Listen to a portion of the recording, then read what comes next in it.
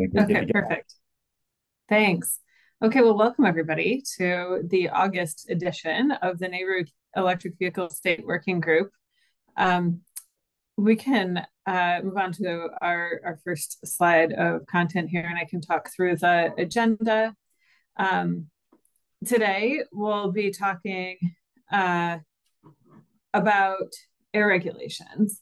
So um, let's just pull up the title for today's. Um, so we've got some really good uh, uh, presenters from the EPA, from the Northeast States for Coordinated Air Use Management, and then also from the New Jersey Department of Environmental Protection.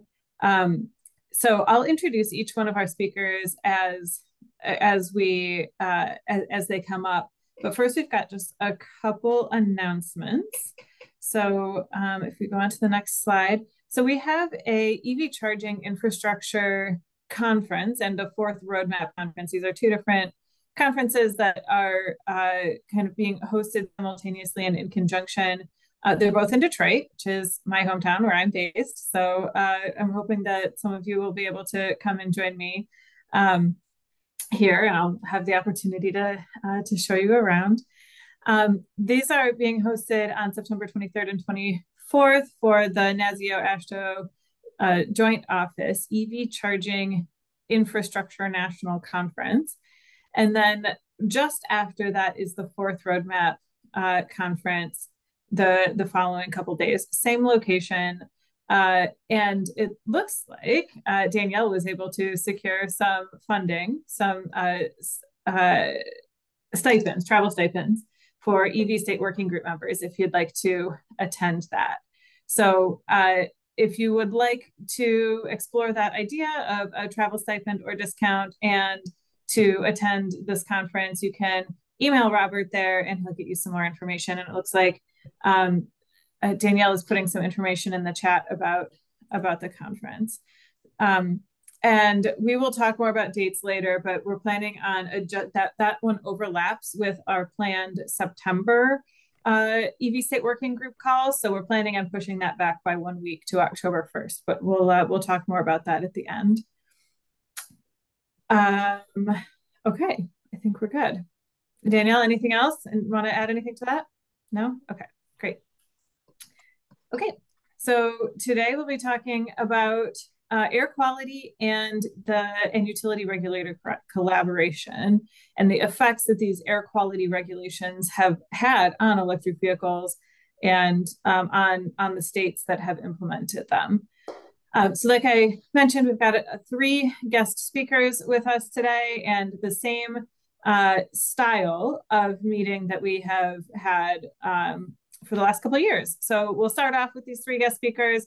We're going to hold Q&A until the end of each of the three speakers' presentations. Do all of our Q&A all at once. All speakers will come back on camera and be there to, uh, to answer your questions.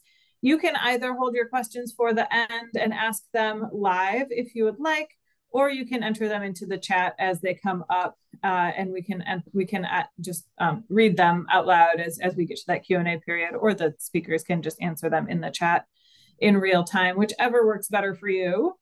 Um, and then after the end of our Q&A period, we're going to reserve those last, uh, I think we have 30 minutes today, 25 minutes, we let our last 25 minutes today for our peer sharing and discussion where we can talk about our experiences in each of our individual states. And that's the closed session, non-recorded, where it's just that opportunity for commissioners and commission staff to have that state to state dialogue um, and have that those open conversations about what we're seeing and experiencing and ask each other questions and provide experience and advice. Okay, let's get into it. Next slide. So I have the pleasure of introducing our first speaker now from the uh, US EPA. One second. We have Zoltan Jung. He is the uh, quote unquote electric power sector guy at the US EPA's Office of Transportation and Air Quality, where for 18 years he has supported electric vehicle and electric power sector aspects of several prominent mobile source rulemakings, including the first ever national greenhouse gas emission standards in 2010, as well as the recent light and medium duty vehicle rule, which was finalized earlier this year. So with that, I'd like to invite Zoltan to take over and uh, give us your presentation. Zoltan.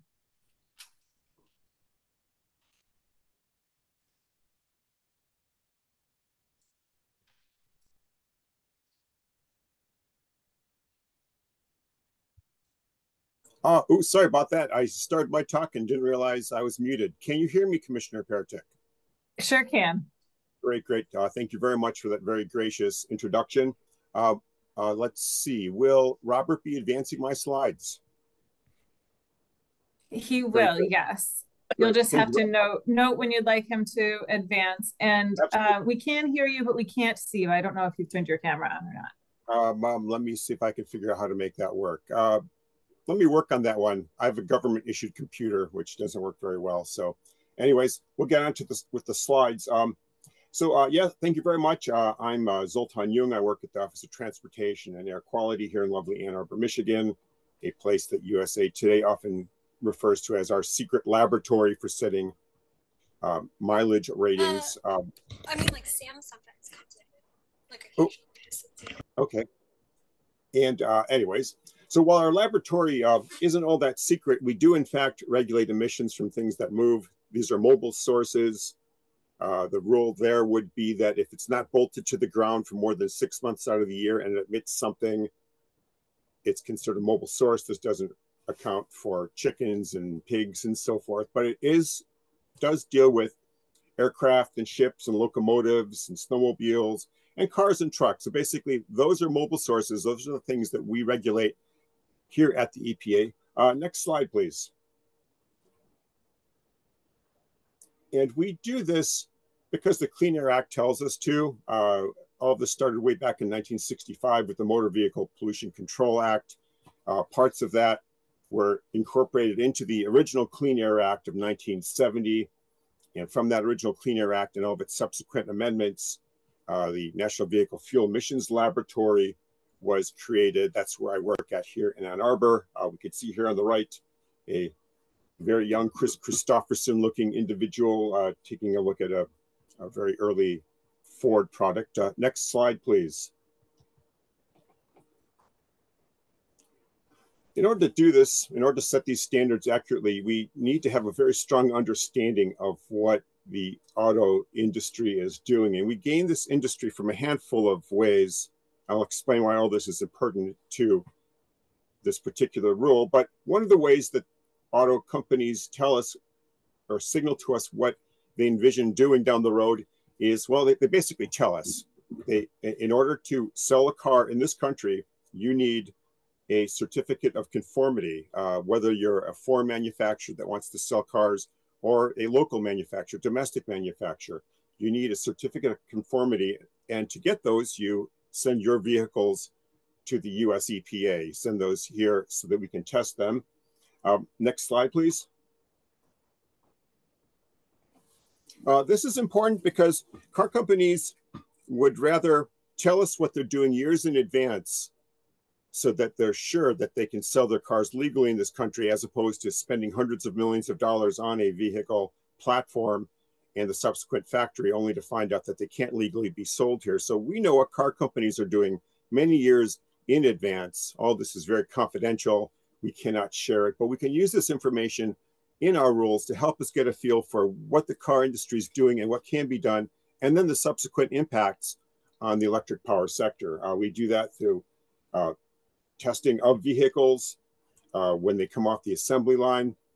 Our rules are unique in that we also have, uh, our rules are in use rules or end of life rules. So the vehicles produced or sold in this country have to meet the emission standard at the end of their useful life. And we do this by uh, selectively picking out vehicles that are in use and testing them to see if they in fact meet the standard. This is one of the ways in which Volkswagen was caught a few years ago through this uh, ongoing surveillance testing that we do as normal uh, because the Clean Air Act tells us to basically. Uh, next slide, please.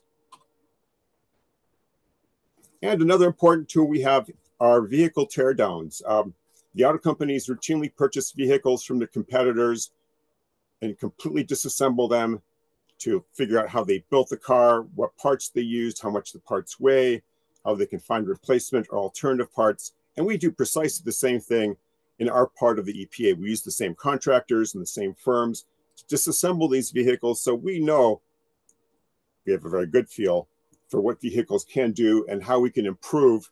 Oh, actually, um, I'm off by a slide. Oh, sorry about that. Um, so uh, we are we know very much what these vehicles will do. No, no, you're fine. Uh, go back. This is that's perfect right there. And um, so we have these vehicle teardowns in the in the previous slide. You'll see one of these teardowns where the vehicle is completely stripped down to individual parts. We incorporate all that information into various models that we use.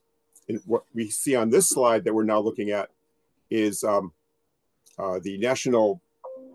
A second um, we see our, our compliance models, the Omega compliance model that we use to set these standards. Information from there, which includes uh, expected vehicle fleet at the national level, vehicle miles trans, uh, traveled, and the like, is incorporated into uh, our likely adopter model that our economists use here to figure out how these vehicles will be accepted or if they'll be accepted in various parts of the US this information is handed off to our friends at the National Renewable Energy Lab, who use the EVI suite of tools to develop load shapes for these vehicles. These load shapes are particular to various regions um, that are consistent with NERC regions. This is in our uh, next stage to the left on the lower left-hand side in the integrated planning model. This is the same model that EPA uses for all of its uh, Section 111 stationary source work. So our model that we use is completely consistent with what the EPA has been using throughout. And then the outputs of that particular model then are incorporated back into the Omega model. And this is important because we, we need to close the loop. We need to see if what the effects of the power sector or on the power sector in terms of cost or availability and the like, to see if that affects the compliance strategy of the auto manufacturers. Uh, next slide, please.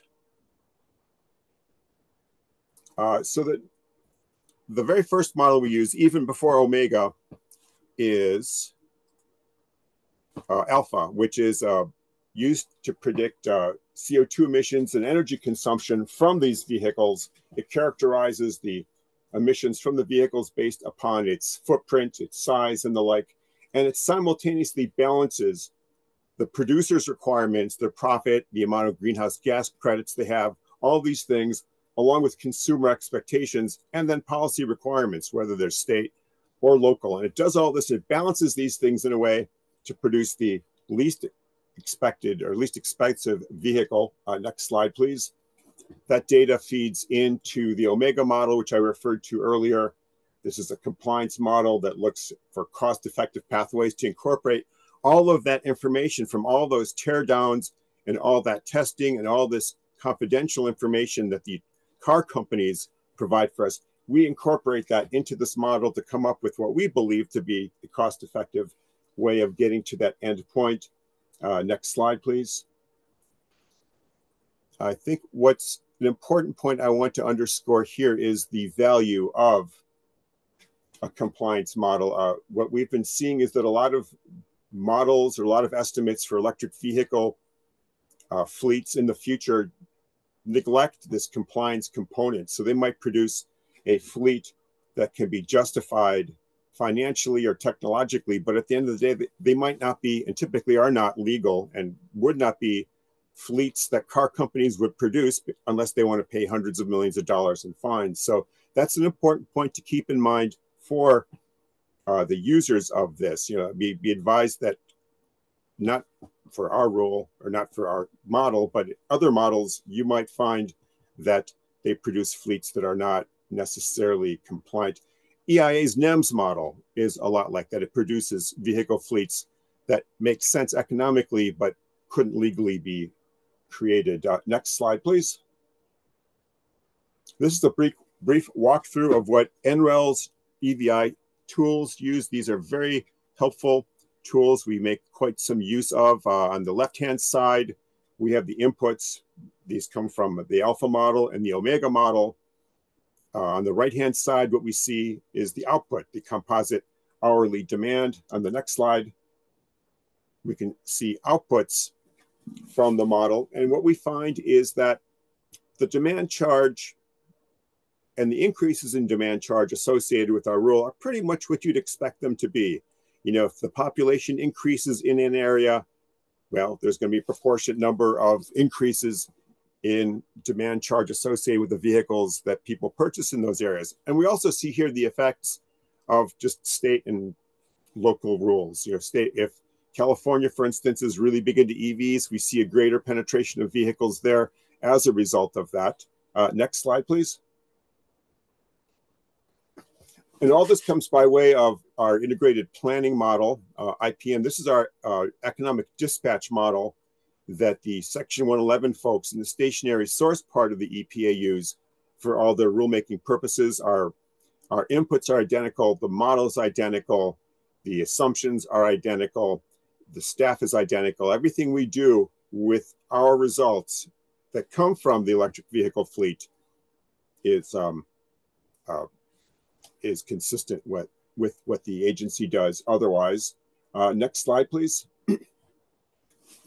we can see uh, our expected power sector demand and generation uh, down the road. Uh, here we have uh, our modeling run results for 2018 to 2028 to 2050, and they're broken down into two sets of groups.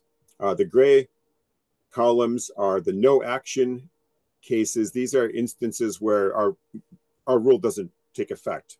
It just, you know, what would happen uh, as a business as usual case. This takes into consideration the effects of the BIL in the IRA. The green columns are the final rulemaking results. This is what would happen if the rule that we propose is implemented we can see in 2028, the increase in uh, charge demand is slight, less than a percent. Uh, it increases up to over 11% in 2050. Uh, we're, we're keeping a close eye on that, trying to get a better feel for how that might change in conjunction with uh, data centers or any other bolts out of the blue as well. But again, these are uh, manageable at this point. Uh, next slide, please. Uh, the annual generation mix doesn't change or changes as we would expect it to. Again, we have couples of data here, uh, the no action and the final rulemaking cases for 2028 to 2050. As one would imagine, uh, coal decreases over that time due to its economical, its cost-related issues. We expect natural gas to decrease somewhat as well, with increases in renewables, and the like. Um, next slide, please. And again, here, um, what we have are on the left-hand side are the no action case. That's the case where we don't do anything for 2028 and 2050. And on the right-hand side, we have the combined rulemaking effects, both for the heavy duty phase three rule, that's the truck rule, as well as the load associated with the light and medium duty vehicle rule, which is the rule that I worked primarily on. And the important take home here is that when you compare um, maps on the left and the right in the same row, there's very little change between the two. They, uh, we don't expect there to be significant change in the load in 2050 as well uh, as in 2028. You know, they're similar back and forth because you know, our compared to other loads, we're not expecting significant impact. Next slide, please. And likewise, we see that with primary energy sources as well. Uh, again, the breakdown is no action on the left, action on the right for 2028 to 2050.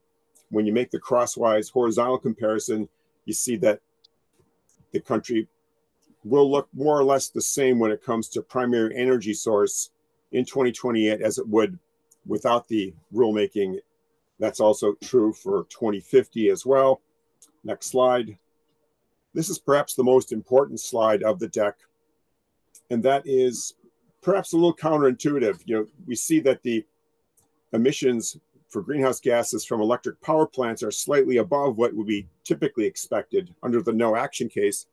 What's critical here is that there's an immense decrease in tailpipe and refinery emissions that completely and utterly swamps this slight increase in electric power plant emissions. So there's tremendous value gained elsewhere that's not represented here. And on the next slide, we see the same thing is true for NOx. You know, no big surprise, NOx increases somewhat because the increased uh, electric demand due to vehicle electrification. But ultimately, it's it's very, very small compared to the emissions that would have been there otherwise. Uh, next slide.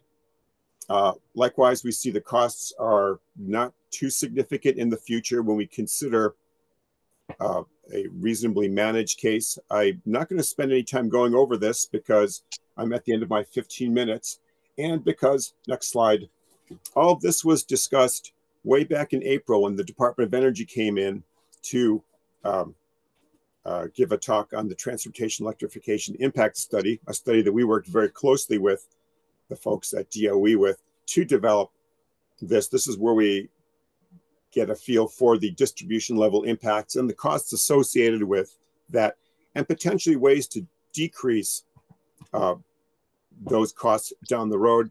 Uh, I think what's been important here for me as a Fed, we um, the feds aren't really used to uh, the world in which commissioners and commission staff function. I used to be commission staff back in Wisconsin many years ago in the electric division. And so I was excited about this project because it started to provide data or information on what might be used and useful, what would have been used and useful for me way back when I was doing commission related work. And trying to get a feel for potential values associated with deferment of distribution or vehicle electrification or distributed energy resources. All these things are captured in this TEIS.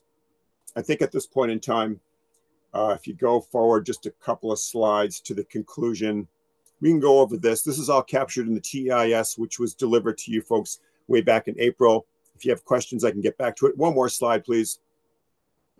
And take home is that um, we're going to expand the TEIS to get a better feel for what happens at the state level as a result of our uh, electrification assumptions. We're uh, writing various papers to capture all these effects. Uh, we write papers so we can actually get the information out into the hands of the public in general. And on, on my final slide is my contact information. Um, I will certainly be here. Next slide, please. And I will be here for um, uh, to answer questions. Uh, I will make available this slide deck. I need to change it a little bit before I get it back to you. Here's my contact information. Uh, thank you very much for chatting or listening in. And oh, I see the DOE folks are here. Ah, the, the very folks that were very instrumental in our work are also called in here. So, anyways, thank you so much. I appreciate the time. And uh, back to you, Commissioner Peretick. Thank you, Zoltan. Really appreciate it. That was um, that was great. That's definitely a perspective that uh, that I don't think we've had at the um, our EV State Working Group before. Um, and I, yeah, that's right. I, I, forgot that you're located in Ann Arbor. I said earlier on the call that I'm located in Detroit, but uh, much more accurately, I'm located exactly halfway between Detroit and Ann Arbor. So uh, that's where I'm sitting right now from my house. Um, so it's uh, great to great to have you on and, and to be um, to be a part of this. And thank you for offering to stick around until after the next two presentations to uh, to offer uh, to answer some Q and A. So we'll. Sure, uh, oh, your your your uh, your video is working now. We can see you now. Ah, thank uh, you. right at the end, yes. um, so uh, uh, thanks for thanks for sticking around. I'm sure that that generated a lot of questions from the audience. Um, but at this point, we will we'll move on to our next present next presentation. We have uh, Megan O'Toole, uh, who is a senior policy advisor with Northeast States for Coordinated Air Use Management Clean Transportation Team, where she supports states in adopting and implementing motor vehicle emission regulatory programs and transportation electrification programs. Prior to joining, Megan served as general counsel for Vermont's Air Quality and Climate Division, as well as the Climate Change Mitigation Program Manager for Vermont's Climate Office. Um, and with that, I'll turn it over to Megan for your presentation. Thank you so much, Commissioner Peretick, and thank you all for having me here today. Um, the focus of my presentation is going to be on, um, you know, kind of shedding some light on what air quality regulators, specifically mobile source practitioners and mobile source emission standard program administrators are up to um, in your jurisdictions and um, you know how their work um, in terms of adopting and implementing air quality regulations that um, require certain levels of stringency for zero emission vehicle sales in certain states can impact the work of um, regulated utilities and regulated utility commissions. Next slide, please. So for those of you that are not familiar with NESCAUM, um, we have been around for, for quite a while um, and we we focus regionally, but um, because of the work that we have been doing in the mobile sources regulatory space over the years, we actually facilitate working groups that go beyond um, our traditional region, which is all of the New England states plus New York and New Jersey. Um, so while this is the the map of our our membership, technically, um, we do work a lot with other states outside of our region. Um, but our mission is to provide scientific, technical, and policy support to um, air quality and climate uh, offices, divisions, programs within um, state environmental agencies. And so our board of directors is made up of the directors of all the air quality divisions in our member states. Um, but we also collaborate really closely, as I mentioned, with other states, including federal agencies, the in, um, industry partners, um, auto manufacturers, and other implementers of um, mobile source uh, regulatory programs. Um, we also facilitate our uh, Mobile Sources Committee, which is made up of the states that have adopted uh, California's Motor Vehicle Emission Standard Program, which I'll get into a bit more in my presentation. And then we also facilitate a multi-state zero emission vehicle task force, and we have uh, facilitated the development of a series of MOUs um, with our member states and beyond and other jurisdictions to set goals related to adoption and uptake of zero emission vehicles. Um, I'll just clarify too before we move on that NESCAUM um, is really limited to providing support on the issues that I mentioned here, and we are we don't consider ourselves to be an advocate or an advocacy organization.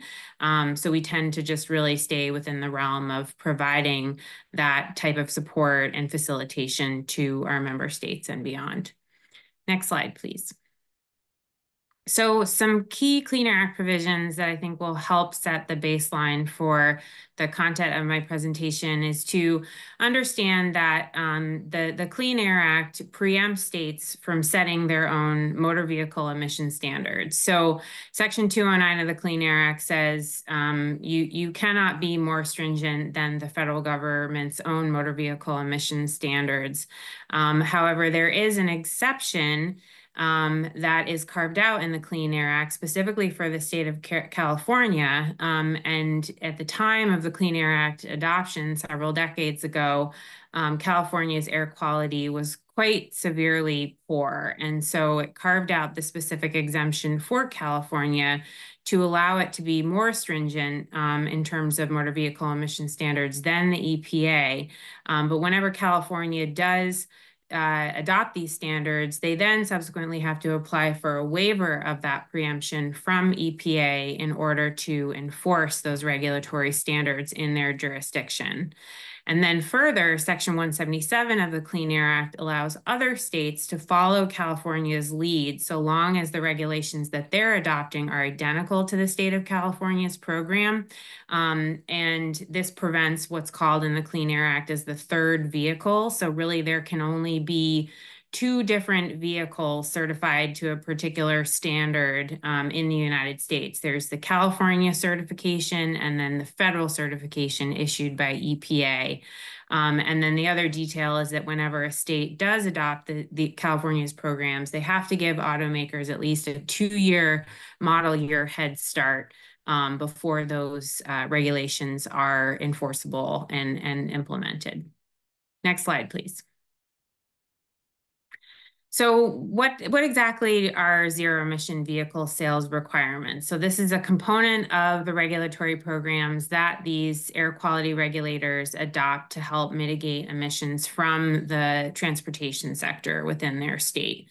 So as I mentioned, California and the Section 177 states can adopt these requirements that are meant to be really technology forcing regulations that require automakers to build cleaner uh, vehicles uh, across all of the weight classes. Um, it increases the percentage of zero emission vehicles that are delivered to each state by setting requirements that automakers deliver a certain percentage of zero emission vehicles, new, new vehicles to each participating state every year, and that ramps up over time. So as I mentioned, automakers are really the regulated entities in this case. Um, and then um, beyond adoption of the regulations themselves, states implement complementary policies to help drive demand to meet the increasing supply of zero emission vehicles that the regulation guarantees. Next slide, please. There's many reasons why states would be motivated to adopt California's program and require more sales of zero emission vehicles. Obviously, first and foremost, in line with air quality program's missions is to improve air quality. Um, there's many components of um, mobile sources pollution that cause significant public health issues um, from uh, smog forming pollutants like nitrogen oxides and VOCs to particulate matter and um, toxic air pollution. Um, this also helps to address the um, kind of historical um, disproportionate impacts of air quality, especially where you have um, areas of heavy truck traffic co-located with environmental justice populations. Um, obviously, transportation has a huge impact on our changing climate as it is the largest source of greenhouse gas emissions in the United States. The regulations also help to create regulatory certainty, not only for the automotive industry, but also for fleets, utilities, um, state and local governments that operate large fleets so that they can effectively plan and appropriately manage their tr transition to zero emission vehicles and build appropriate infrastructure to support those vehicles. This also helps to um, generate economic growth as the vehicle fleet transitions, um, and then also enhances energy security and resilience by um, less reliance on uh, foreign fossil fuel supply. Next slide, please. So just a brief history of these programs. Zero emission vehicle regulations were actually first adopted in um, the mid 80s and the percentage of zero emission vehicle sales um, has ramped up through various iterations of the program over the years. Um, Advanced Clean Cars was the precursor to Advanced Clean Cars 2, um, which was rolled out um, around 2016 and um, and kind of as I said, increase the stringency of zero emission vehicle sales in the participating states. And then Advanced Clean Cars 2 was the most stringent version of this program, which requires 100% of new vehicles sold in participating states to be zero emission vehicles by the year 2035. And then ACT has similar ramps up in stringency depending on the, um, the weight class of uh, medium and heavy duty vehicles um, and their ZEV sales percentage share. Um, currently, there are 17 states participating in Advanced Clean Cars 2. Um, and uh, as you can see in the, the bottom left corner here, um, the amount of zero emission vehicles that is delivered to these states um, far exceeds the amount of zero emission vehicles that are delivered to non-participating states, ensuring a, a, greater supply of these vehicles um, in, in those states. Next slide, please.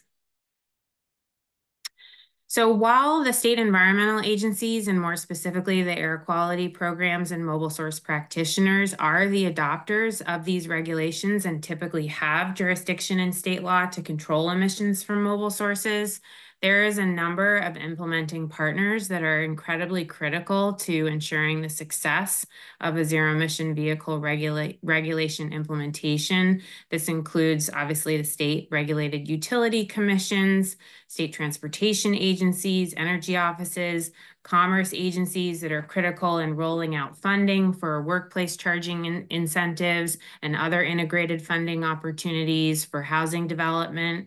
Um, state weights and measures programs provide consumer, consumer protection support similar to, to how they um, inspect and regulate gasoline dispensing. They also are doing the same for electricity dispensing at public um, EV uh, infrastructure locations.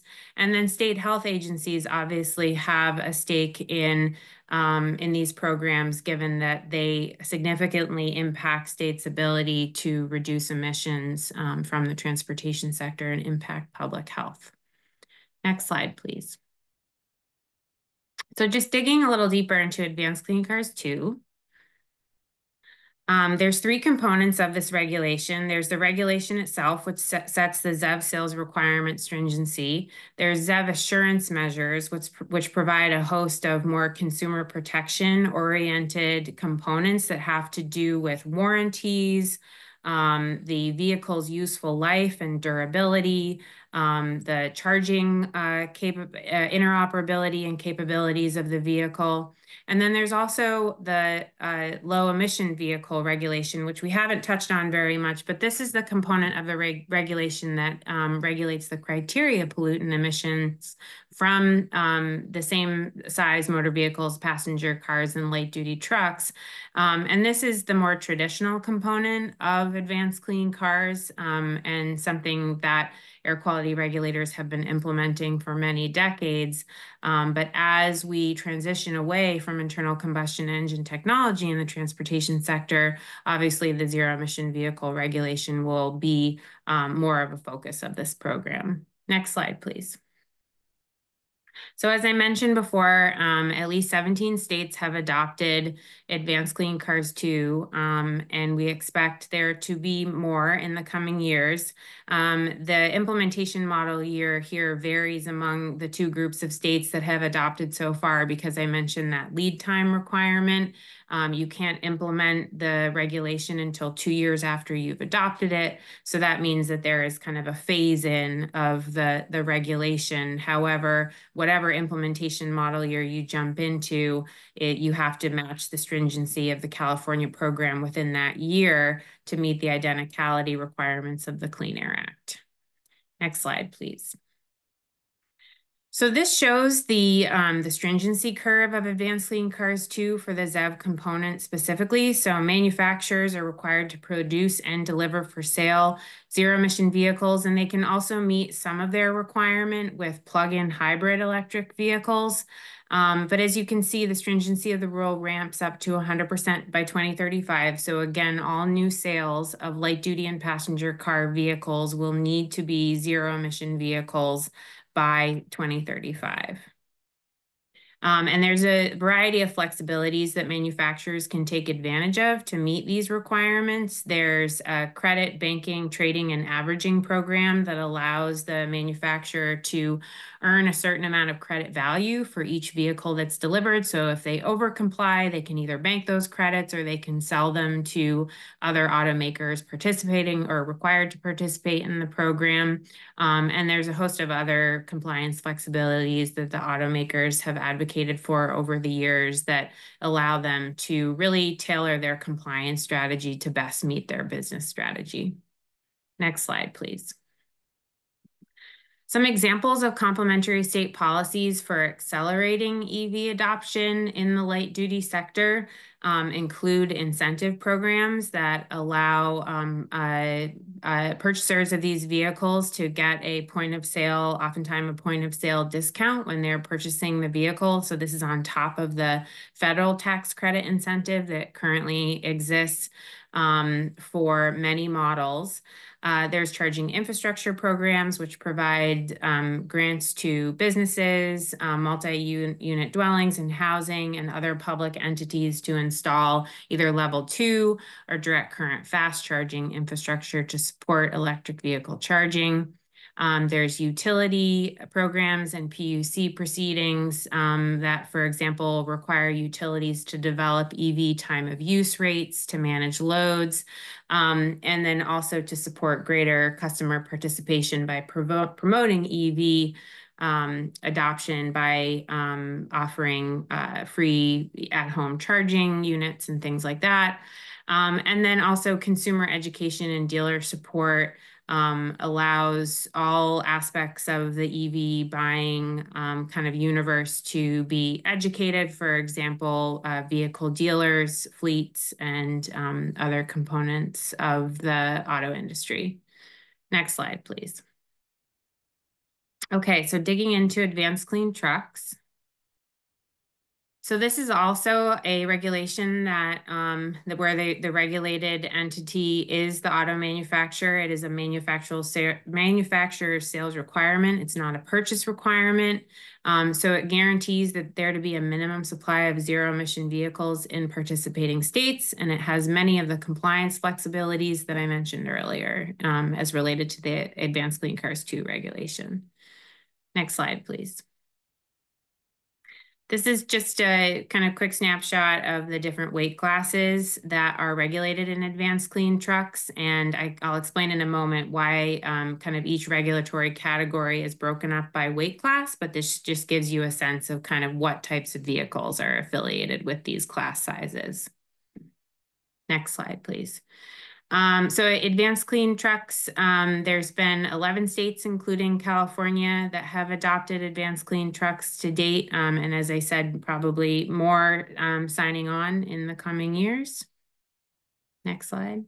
And this uh, is the, the sales requirements are a little bit different for advanced clean trucks. And this really takes into account um, the specific vehicle weight class and the applicability of the technology and the status of the technology um, as it relates to what is available in a particular weight class. So as you can see, the um, the stringency for uh, the lighter classes of vehicles is higher, um, given that the the status of the you know heavy truck technology in the class seven to eight tractor category um, isn't as advanced as in the lighter categories.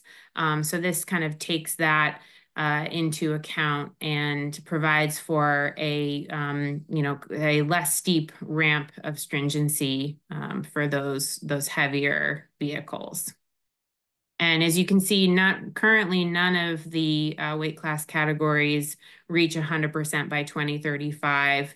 Um, however, California is in the process of amending the Advanced Clean Trucks regulation to be more stringent, um, but how they will um, kind of smooth out the stringency curve um, as, as the stringency is predicted to accelerate beyond 2035 um, remains to be seen. The complementary programs to support um, medium and heavy duty truck adoption are similar to light duty, um, except that um, they just apply to different weight classes of vehicles. And obviously, there are different considerations in terms of the electricity demand and supply issues as it relates to charging heavier truck technology with more massive batteries. Um, but there is kind of similar incentive programs and technical advisory assistance to help fleets um, understand the total cost of ownership of these vehicles, which tends to be lower over its useful life than its internal combustion engine uh, comparison model. Um, but as you can see here, a lot of similar programs. Next slide, please. I'm just, I think that's it. Yeah. All right. Hopefully that was right on time. Thank you.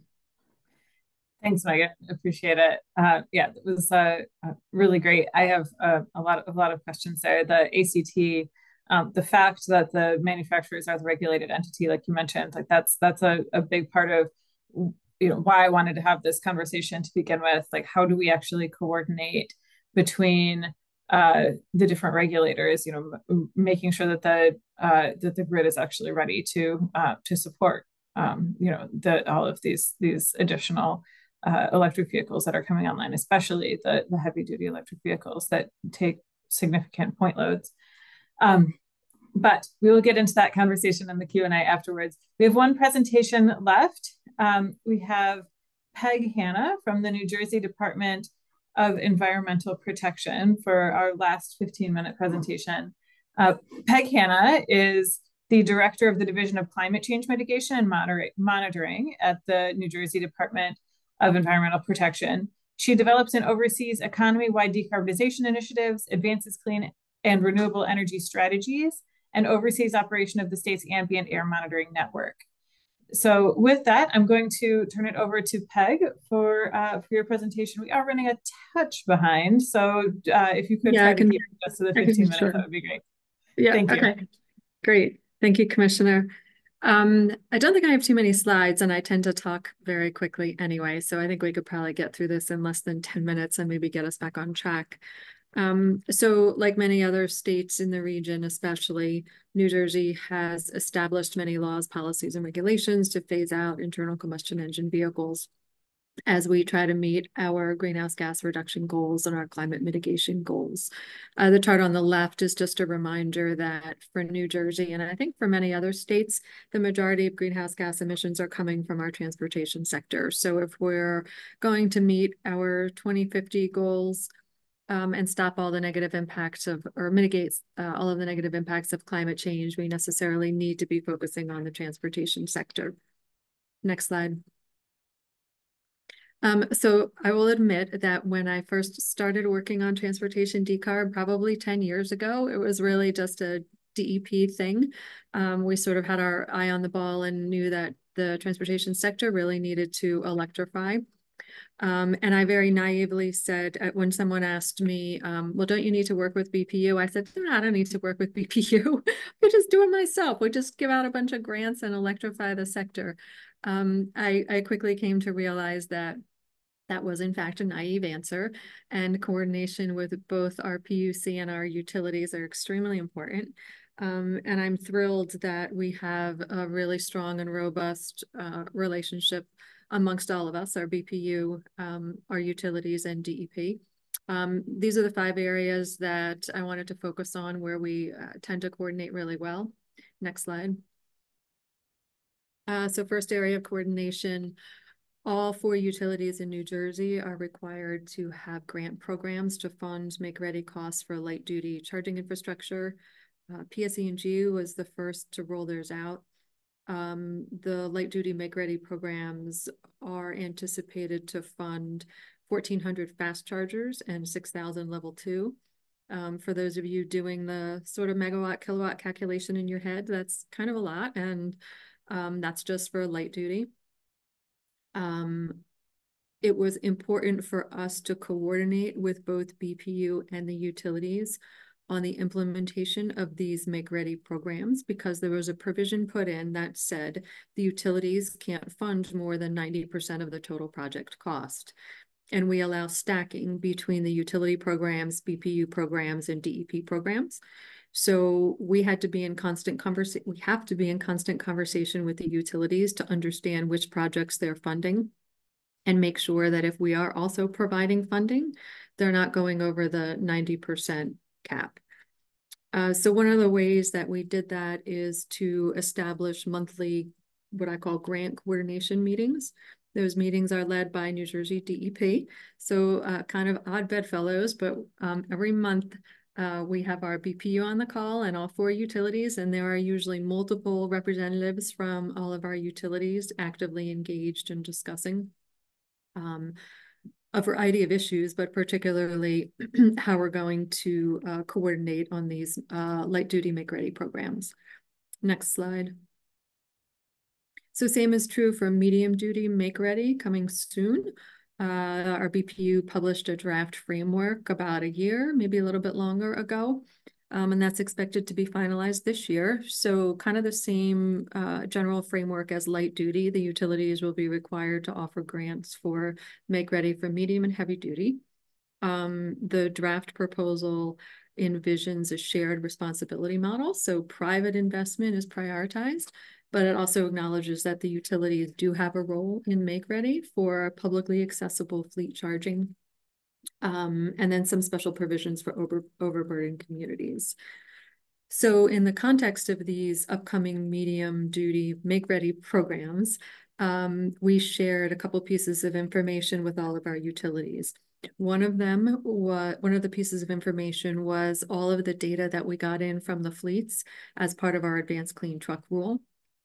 And that was relevant because it helped the utilities understand the geographic distribution of the fleets that are potentially going to electrify. We also did a GIS map with a couple different data layers, um, including those advanced clean truck fleets that probably um, will be electrifying. We also layered on there some uh, medium and heavy duty charging depots that we knew were underway overburdened communities, et cetera. So having all of those data layers in one place definitely um, is going to help the utilities develop their uh, make-ready programs once our BPU finalizes the framework. Next slide. So second area of coordination, um, BPU and DEP grant programs. So as you can see from this chart, um, we have three state agencies, actually four if you count our DOT, um, that are administering or giving out you know, various types of grants and incentives for EV charging and electric vehicles. Um, we also have various policies and rulemakings and other strategies that are being pushed out by all three of these agencies. So it's really important for um, BPU and DEP particularly to coordinate on all of this. Um, one recent example is EPA issued a notice of funding opportunity for school buses, electric school buses. And EPA was planning to give extra points for applicants that coordinated with their utilities. So in an average day, I don't think the utilities would necessarily have known that that was in this federal grant opportunity. So we flagged it for our utilities. We explained to them um, which applicants might be reaching out to them so that they were prepared on how to respond and get those applicants extra points in that federal application. Uh, next slide. Um, so I'm thrilled that uh, New Jersey DEP was the lead for this winning application, 200 and almost $50 million to do public freight uh, charging at approximately 24 sites throughout these states. That is going to require a tremendous amount of coordination with utilities. Uh, the megawatts that we are projecting from these truck charging depots when fully built out is 484,000 megawatts, not kilowatts. That is an incredible load. Um, there's no way that New Jersey, let alone the other states, are going to do this without uh, working closely with our Board of Public Utilities. Board of Public Utilities and our utilities. Next slide. Uh, third area of coordination is data sharing. Obviously, I don't intend for you to read all of this. Um, so information from the EV charging stations that uh, we are funding is very important, as you all know, to both the utilities and to state agencies. For all of the utilities, it's needed to develop rate structures and demand charge solutions. For state agencies like DEP, we want to understand the uptime of the chargers. We want to understand use patterns. Um, and then all of that information will help us develop future incentive programs and justify use of public funds. So both BPU and DEP have negotiated agreements with EVSE providers for the sharing of data. We call them compliant network service providers. Anyone that wants grant money from BPU or DEP must use one of these compliant network service providers that means that any grant money that we give out for an EV charger, we will get the data from the use of that charger. Um, in fact, our BPU just onboarded or is in the process of onboarding a third-party data aggregator that will be able to pull in all of this information that's getting reported from state-funded charging stations, um, and then we can look at it holistically. Next slide. Um, so area of coordination number four. Um, this is a really innovative project, and I am um, just so pleased that uh, PSE&G is a leader in this area, and we expect our other utilities to follow. So as we start funding more and more fast chargers, um, especially through NEVI, capacity becomes more of a concern. Um, also, there were some instances where DEP was trying to install some chargers um, of its own, trying to determine the best location. We had been asking our utility to preliminarily evaluate certain sites. Um, that's not something that the utilities typically do. They don't do like a draft, you know, yeah, we think it's going to be okay, or no, it's not going to be okay. Um, so we worked, BPU and DEP worked closely with PSE&G and they have launched a pilot red light, green light screening program. Right now, it's only applicable to NEVI grantees, but we are hoping that they will expand this. So essentially, people are coming in and potential site hosts are coming in and saying, I think I want to put charging stations on the site. There's all of these different factors that are under consideration, but more importantly, I want to know if there's um, enough capacity at this particular site for the requested load. So PSE&G says, okay, we're going to have you answer these five questions. So a yes to any one of these questions yields a red light, meaning that the site has to go through a full, um, it looks like some of the slide got cut off there, a full detailed evaluation. On the other hand, if you get no for all of these questions, that's meant from a pre-screening purpose. There's a good chance that you could move ahead as is without um, a huge amount of additional costs. So using this pre-screening process we believe is really going to um, give valuable information to potential site hosts up front and streamline the process and reduce costs. Obviously, if a site host gets uh, comes back with a, a red light, that means costs are going to be significantly higher. They may choose to develop an alternative location. So it's really providing predictability and transparency in the very beginning of the project um, rather than down the road and then having the uh, site host back out. Uh, next slide which I think is my last slide. Um, so area coordination number five is speaking with one voice. Um, DEP's successes or BPU's successes or the utility successes in this space are New Jersey successes. They are not just DEP, they are not just BPU. So we really endeavor to make sure that all of our information is coordinated and all in one place, regardless of which agency is leading the effort. Um, at the end of the day, uh, stakeholders, site hosts, fleets don't really care which agency is giving them the money. They just want the money. So we try to make sure that all of our tools and incentive programs are tailored to the audience. We try to make sure that everyone understands the differences between the different funding opportunities being offered um, by the different state agencies so they can make educated decisions about which one to avail themselves of. Um, last slide, which I think is disclosing. Yep, there we go.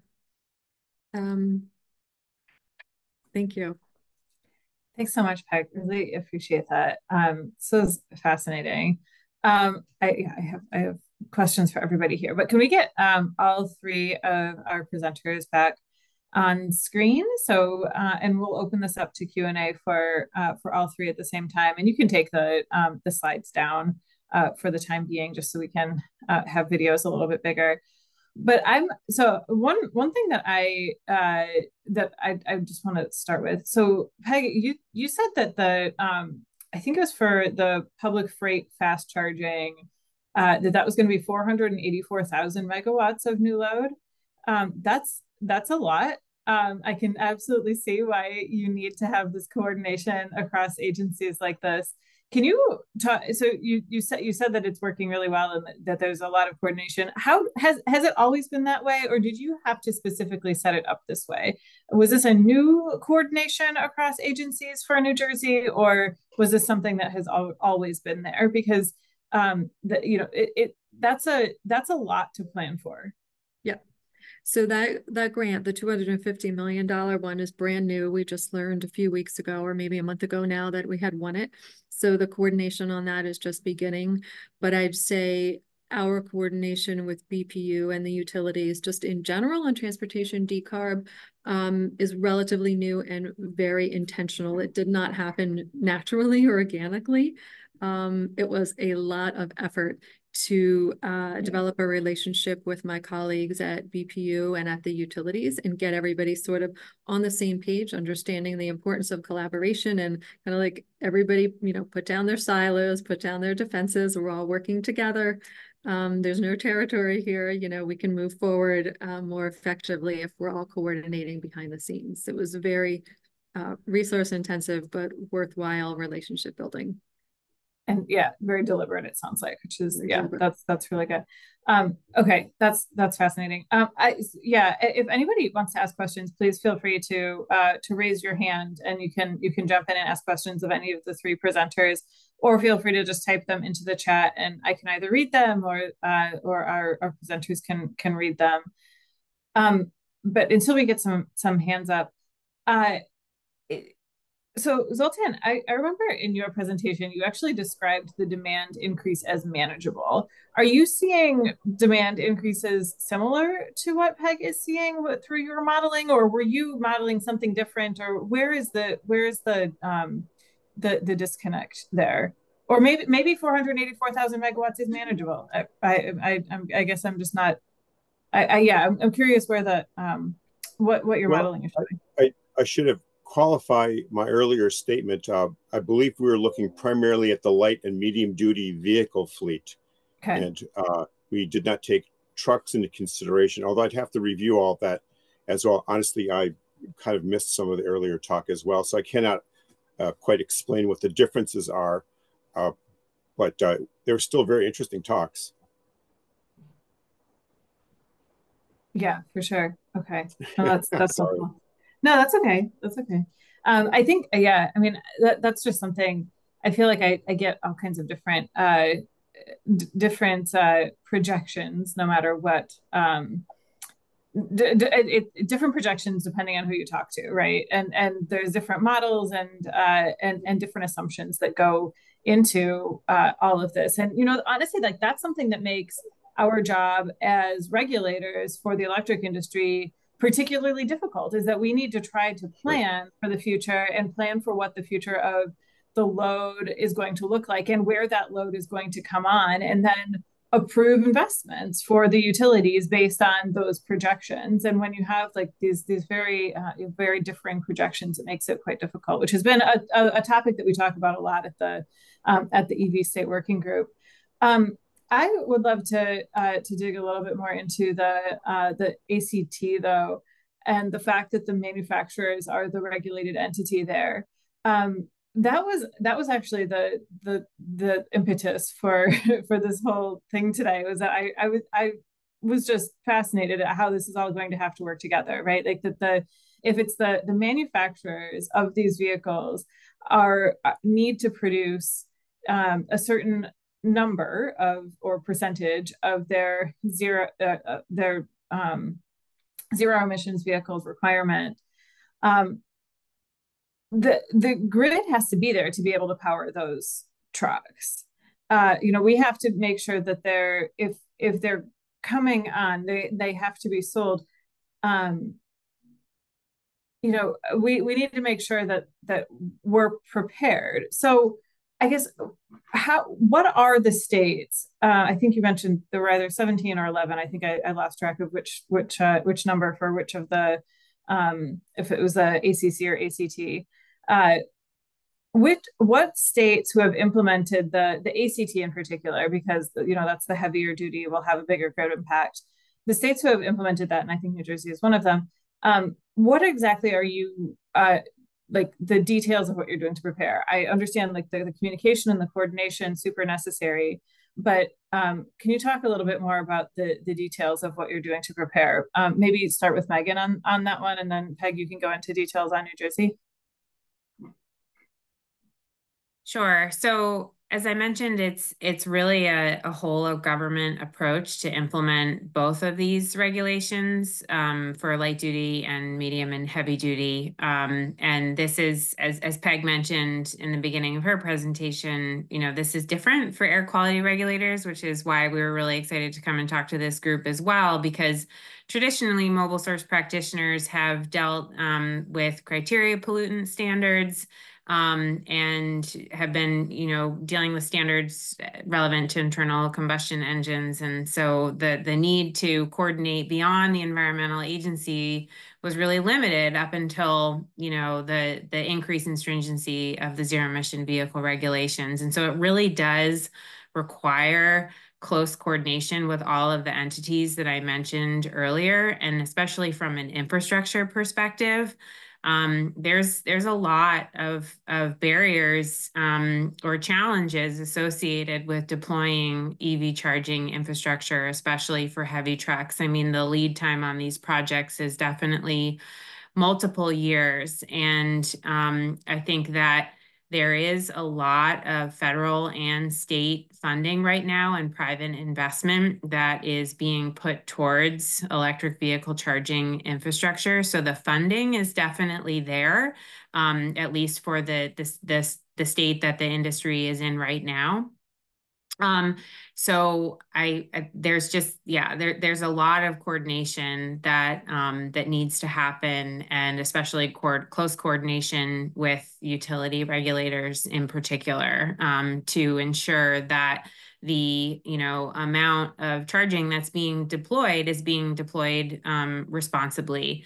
And I, I will mention one um, kind of design component of the advanced clean truck regulation that I think is um, uh, meant to specifically address the kind of reality of the, the state of the infrastructure deployment is that the, the level of stringency for the type of vehicles that are more um, uh, likely to have a duty cycle wherein they kind of complete their their daily trip without having to charge midday, but can go back to their truck depot or wherever they're housed and charge overnight more slowly, like on a level two charger, um, matches that kind of ramp up in stringency. So ACT kind of requires that those types of vehicles with that duty cycle where they're really just charging at night more slowly um, are are um, brought online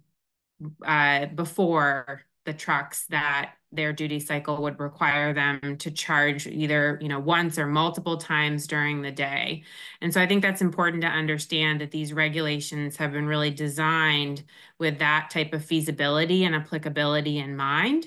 And i think that's important for everyone to to, to understand because it, it it really does favor earlier that type of um, you know slower more easy more easily managed charging. So that's one component of the regulatory design that i think is um, you know and important for this conversation. Definitely. Yeah that's great. That's really helpful. Um peg anything to add? Um, I just say this is definitely an interesting regulation because there are from a compliance perspective, there are at least two things that are outside of the regulated entity's control, and that is the charging infrastructure.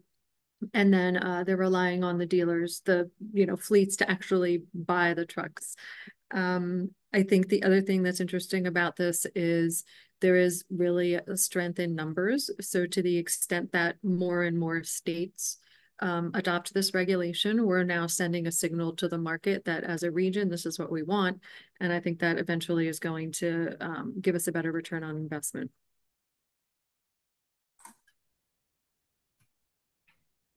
That's great. Thanks.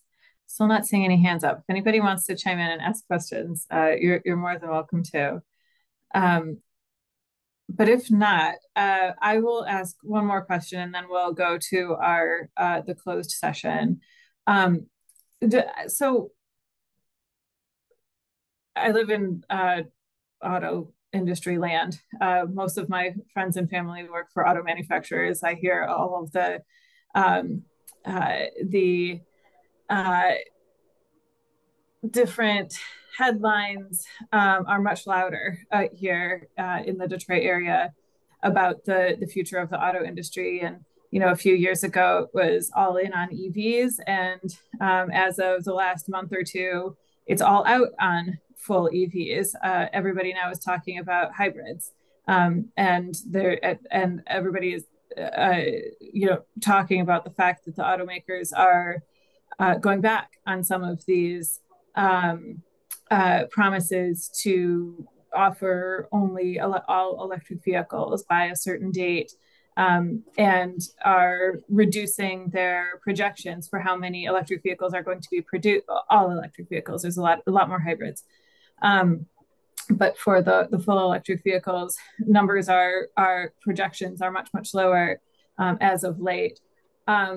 Are manu- so, but because of these regulations in these states, it seems that the, those manufacturers are still required to offer these uh, these full electric options. Um, are manufacturers still on track uh, to uh, to meet these the the um, the ACC and ACT? I, I I'm going to be realistic. I think it's too soon to tell. I think the you know the early stages, um, the first couple years of the program, they'll have enough flexibilities and sort of you know banked credits from over complying that they'll be fine. Um, whether they can meet the ultimate goals at the end, you know, 20 to 35, I guess it is. Um, I think it's too soon to tell. I don't know, Maggie, do you have rose colored glasses?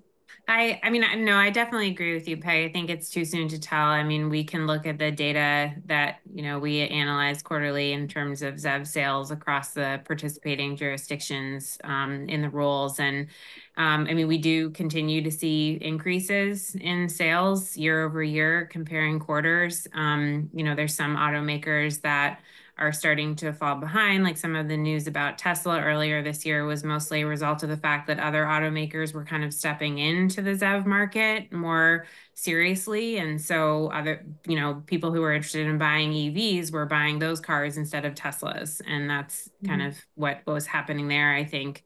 Um, but yeah, no, I, I agree with you, Peg, but I think we do still see growth and um, we I, I, think the automakers will be able to um, achieve compliance with the new generation of the regulation as peg mentioned because of all the flexibilities that are built into the rule. Um, so that should give them a pretty soft landing pad um, for the you know entering into the the new phase of the regulation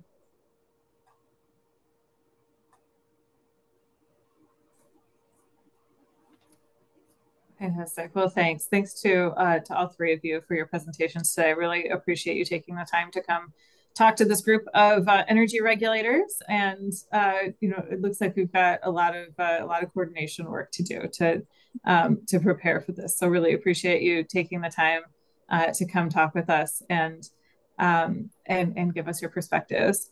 Uh, so at this virtual round of applause. Um, so at this point, we'll uh, we'll ask everybody, all of the non uh, state utility commission uh, commissioners and commission staff to drop off, and uh, we'll go into our our closed session. Thank you. Thanks very much. Take care. Thank you.